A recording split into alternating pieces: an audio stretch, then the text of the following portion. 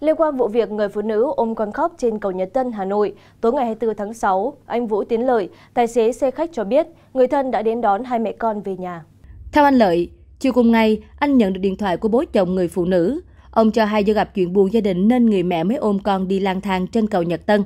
Anh Lợi nói, người thân đã đến đón hai mẹ con về Bắc Giang và gửi lời cảm ơn. Họ đưa tiền, nhưng tôi không nhận. Nam tài xế cũng cho hay, do bận việc từ chiều nên anh chưa biết hành động của mình được cộng đồng tán dương trên mạng xã hội. Anh Kim Tốn nói, ai trong hoàn cảnh của mình cũng sẽ tìm cách giúp đỡ hai mẹ con trên.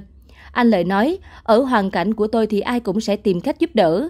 Trời nắng nóng, bé trai chừng 3-4 tuổi không có gì che chắn đi giữa trời nhìn rất tội và bày tỏ hy vọng người phụ nữ sớm vượt qua nỗi buồn để tiếp tục nuôi dạy cháu bé.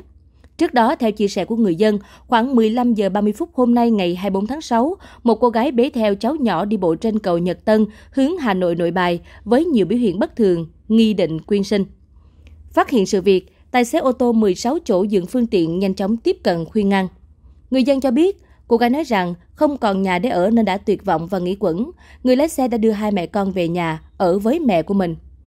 Ngay sau khi câu chuyện người mẹ ôm con vừa đi vừa khóc trên cầu Nhật Tân Hà Nội được chia sẻ, đã thu về nhiều phản hồi tích cực trên mạng xã hội. Cộng đồng mạng gửi lời cảm ơn bác tài xế, đồng thời hy vọng người phụ nữ sẽ không có thêm hành động dại dột nào nữa.